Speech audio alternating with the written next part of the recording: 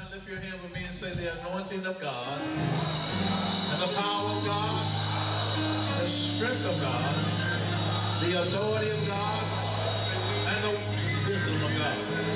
This day is a day of deliverance.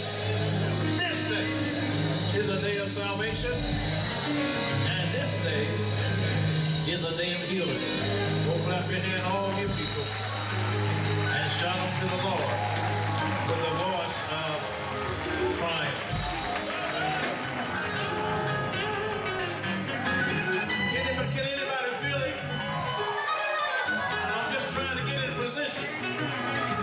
to turn myself eastward, if I have to go wherever the Lord says!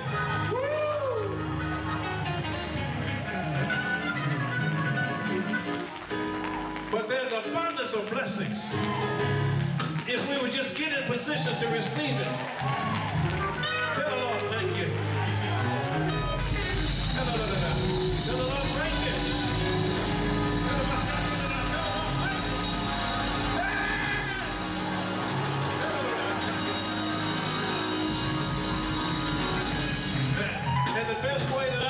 get in position, it's just tell the Lord thank you.